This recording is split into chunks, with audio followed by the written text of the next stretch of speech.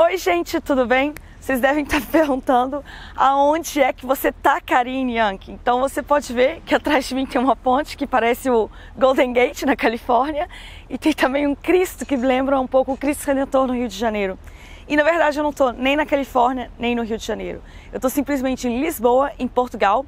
E eu estou fazendo esse vídeo porque antes de vir em Portugal, várias pessoas me disseram: olha, os portugueses não tratam bem os brasileiros, eles tratam vão tratar as brasileiras como se fossem prostitutas, os homens como se fossem malandros, enfim, tem várias piadas entre portugueses e brasileiros. E eu tô fazendo esse vídeo para falar exatamente como os portugueses tratam os brasileiros e essa relação entre Portugal e Brasil.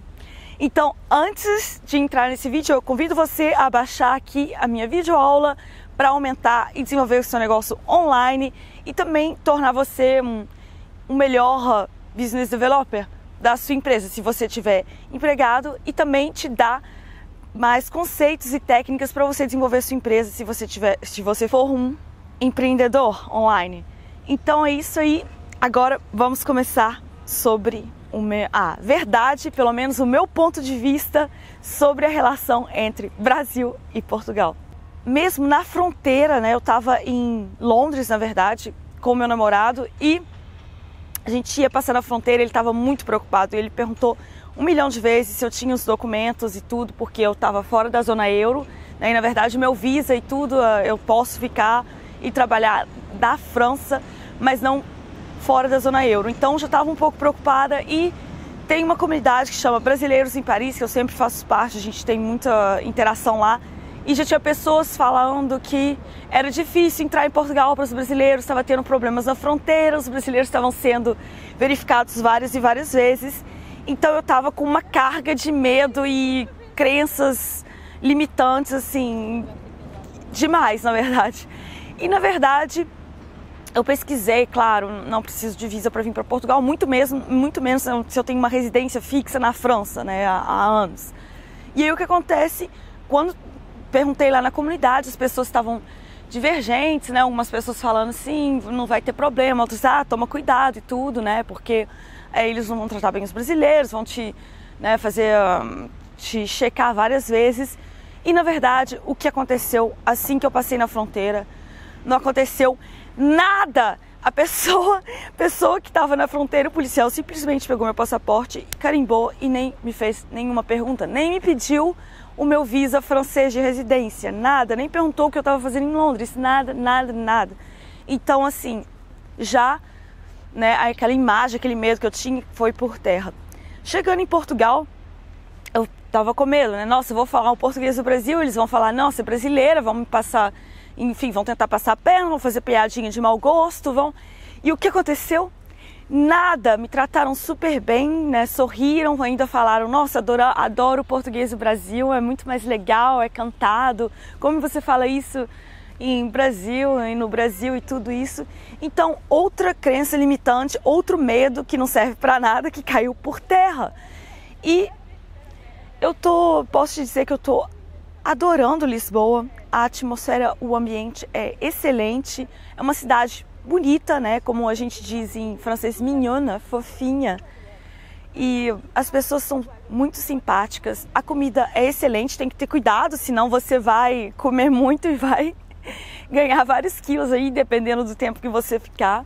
Mas se você tem que fazer atenção, mas a comida é excelente, né? Eu recomendo bacalhau, vinho verde, pastéis de nata.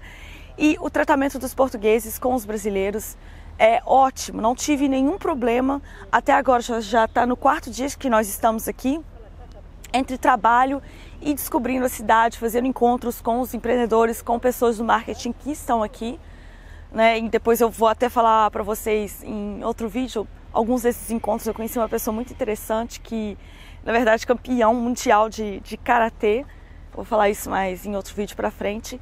E esse vídeo é só mesmo para falar para vocês não tem nenhum problema para brasileiros em Portugal. Bom, pelo menos minha experiência como turista não tem nenhum problema, tá? Me trataram super bem, então você não precisa ficar preocupado. Se você tiver com todos os documentos certos na fronteira, você não vai ter nenhum problema.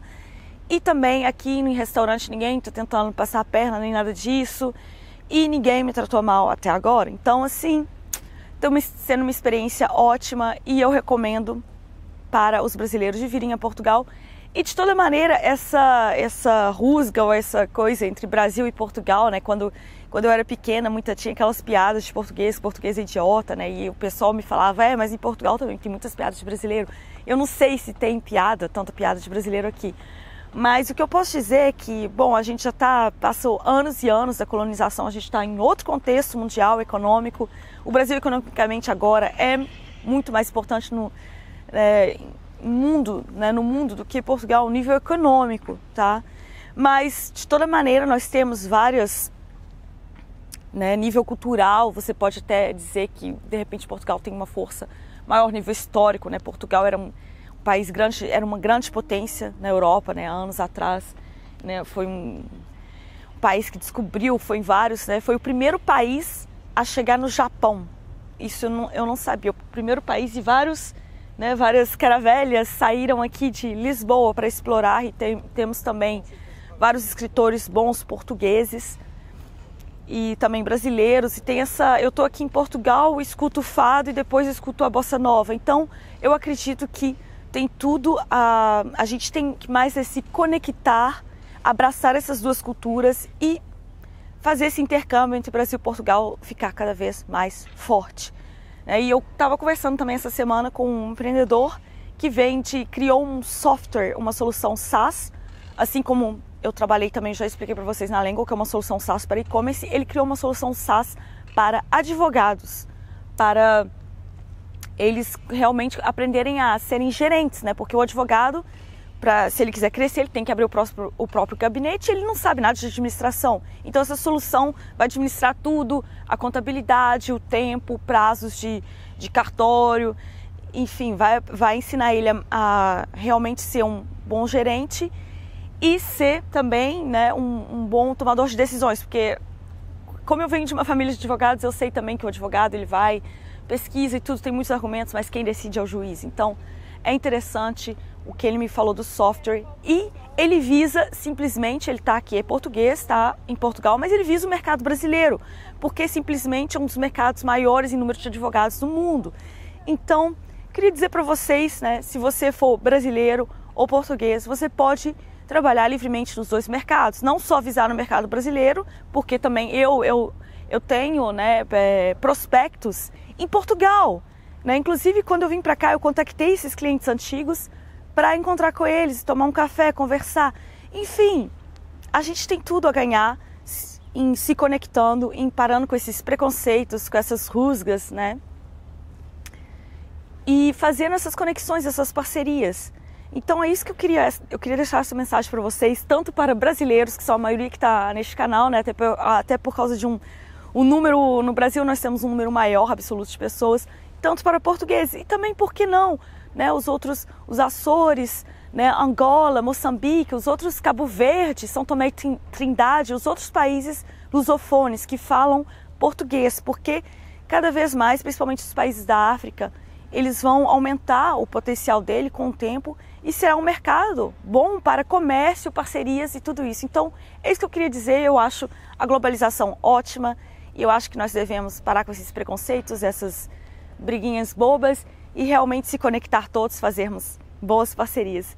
Então é isso que eu queria, essa mensagem que eu queria passar no vídeo de hoje para vocês. Gente, não precisam de ter medo de vir para Portugal se vocês são brasileiros e portugueses serão muito bem acolhidos no Brasil, como eu tenho experiência, até porque a grande maioria de nós brasileiros temos né, desse, é, alguém na família que são portugueses, né? Por exemplo, eu, eu tenho Alves no meu nome, Karine Alves Ank, e Alves é, claro, um sobrenome português. Então isso aí nós devemos também muito a Portugal por causa da história. Eles integraram lá e temos, temos sangue português. Então vamos parar aí com essa essa disputa boba, né? E essa conversa boba e vamos integrar e realmente conectar os dois mercados. Não esqueça, não esqueça de compartilhar esse vídeo se você gostou, dê um like, envia para os seus amigos brasileiros e portugueses aí para ficar realmente tudo em paz e vamos fazer então uma bacalhada juntos ou um churrasco, alguma coisa assim, tomar um, um bom vinho. Um grande abraço, pessoal. Deixa aqui o seu comentário, a sua experiência de relação entre portugueses e brasileiros.